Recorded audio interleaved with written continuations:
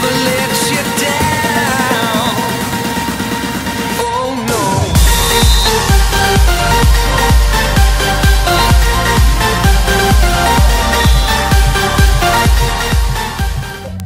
abbiamo combattuto fino alla fine, insomma una buona partita oggi, finalmente dopo una serie di prestazioni non al meglio delle nostre possibilità.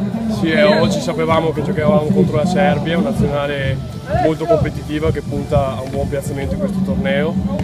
Fatto sta che comunque a mio parere abbiamo giocato la partita più bella del torneo, abbiamo, come dire, siamo riusciti a far vedere qual è il nostro potenziale anche se non possiamo competere con, A, con le nazionali più forti, ma comunque sono, siamo soddisfatti per una bella partita che abbiamo fatto.